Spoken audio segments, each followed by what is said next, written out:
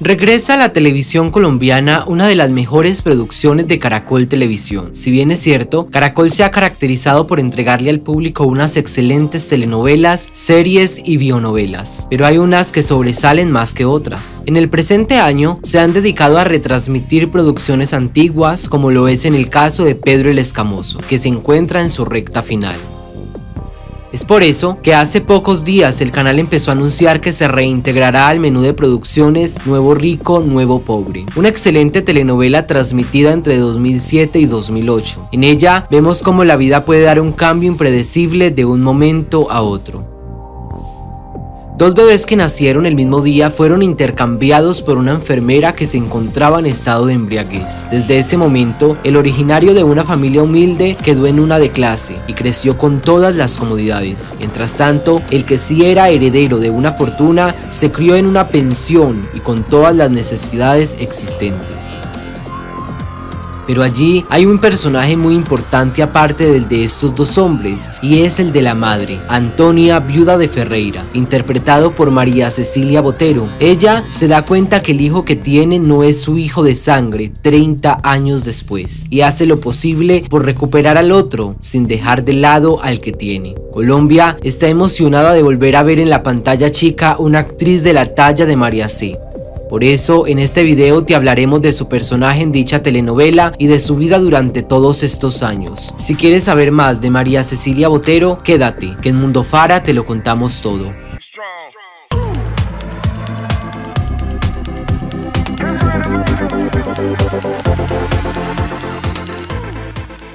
A Bernardo le encantaba esta época, disfrutaba las cosas sencillas de la vida.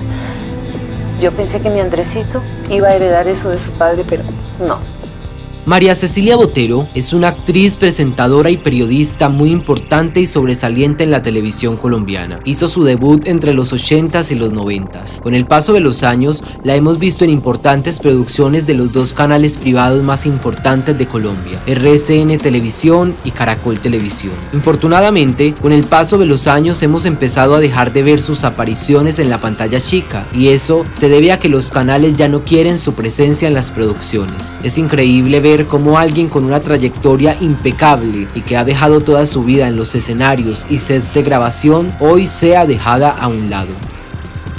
Por esta situación difícil, la cual ha afrontado María C en diferentes oportunidades, ha demandado estos actos. Para el programa Lo sé todo, hizo una fuerte acusación diciendo que si ella fuera mexicana, le dirían la doña y que tendría hasta camerino privado. Pero como está en Colombia, el medio es muy desagradecido.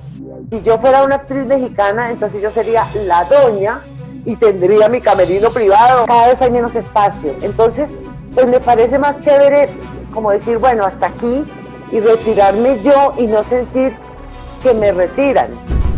En Colombia, muchas empresas no reciben personas que no tengan experiencia en determinado trabajo. En la actuación, aunque la experiencia es muy importante, también le dan la entrada a las nuevas revelaciones. Aunque algo que sí es notable y que primeros actores han dicho es que hoy en día no se fijan mucho ni en la capacidad de la persona ni en el desenvolvimiento que tenga, sino en el físico. Y hay muchos que solo tienen físico, pero que no son buenos actores. Hola, mi amor. Hola, abuelita. ¿Cómo te fue en el colegio? Súper. Me alegro. Ven. Tienes que ir a la cocina porque yo en el horno te dejé algo muy rico para comer. María C es una primerísima actriz colombiana. Como ya lo dijimos, sus 50 años de trayectoria en el mundo de la actuación son intachables. Ahora buscan juventud, belleza y silicona, fundamentalmente. Ya uno no cabe dentro de eso, porque ya uno no es ni joven ni bonito ni le cabe la silicona. Entonces uno se queda con el talento y eso no alcanza, dijo la actriz hace unos años en una entrevista para Caracol. Es un momento difícil como todo el mundo y como otros que he pasado también. Yo creo que a mí me queda poco dentro de este medio, despedirme, retirarme, porque pues primero ya son muchos años y segundo pues em, hay poco trabajo y entonces es mejor retirarse tranquilo. Pero entre las múltiples producciones en las que ha trabajado, su paso por Nuevo Rico, Nuevo Pobre es uno de los más recordados y en las próximas semanas la volveremos a ver en las noches de Caracol Televisión, pues la telenovela regresará en el horario de Pedro el Escamoso una vez esta finalice. En Nuevo Rico como que todos éramos amigos y entonces fue como una experiencia muy bonita. En la telenovela, María Cecilia interpretó a Antonia, viuda de Ferreira. Ella es dueña de una empresa llamada Mundo Express. La vida de Antonia es perfecta hasta que recibe una carta de la enfermera que intercambió los bebés confesando todo. Y nada, nada en esta pesebrera. Sí. Brian. Ah, pero mamita, es verdad, ese chichi tenía popis y no pude hacer porque no hay nada. Aquí no hay sino botellas de cerveza y panes de comida por ahí tirados. Britney, Britney, piensa dónde pudo haber ido Erwin. Gracias a la escolta personal de Antonia, Hugo Castro, interpretado por Everett King, logran localizar a Leonidas para explicarle la situación y llevar a cabo el intercambio. Así, Andrés deja de ser un Ferreira rico y ahora tiene que vivir en la pensión lleno de incomodidades. Mientras que Brian ahora es un Ferreira y dueño de Mundo Express. Este intercambio causa la enemistad entre Andrés y Brian. Durante este tiempo, Antonia y Leonidas se enamoran y se casan. Finalmente, todos quedan como una familia feliz.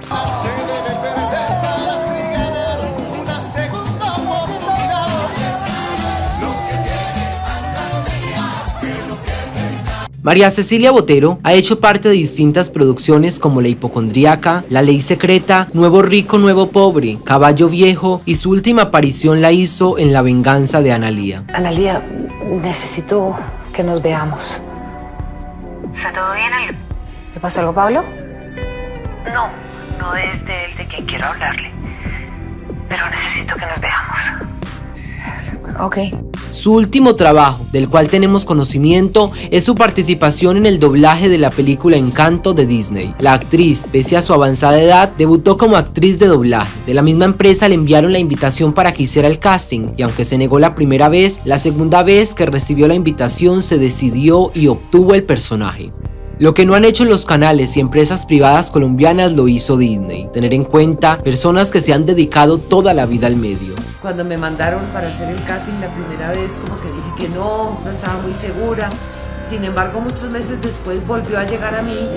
Me, atreví, lo hice y lo siguiente fue ya una audición desde Los Ángeles y les gustó mi voz para ser la abuela. Debido a la poca demanda que ha tenido en los últimos años, la actriz tuvo que invertir sus ahorros en proyectos que creyó viables para poder tener un ingreso. Lamentablemente, estos no se dieron y terminó invirtiendo en una tienda de barrio. Monté una tienda en un pueblo. Hago alguna cosa porque yo tengo que vivir, tengo que comer, tengo que pagar la salud. Soy buenísima productora pero mala empresaria. No sé vender, no sé hacer buenos negocios. Esa es la realidad. Cuando pasan dos años en que yo no hago plata, pues no sé, se acaba. Cualquier ahorro que uno tenga. Bailo sola en mi casa y canto porque no quiero perder la alegría. En el momento en que uno pierda la alegría, la vida siempre se apaga, contó la actriz en una entrevista para la red.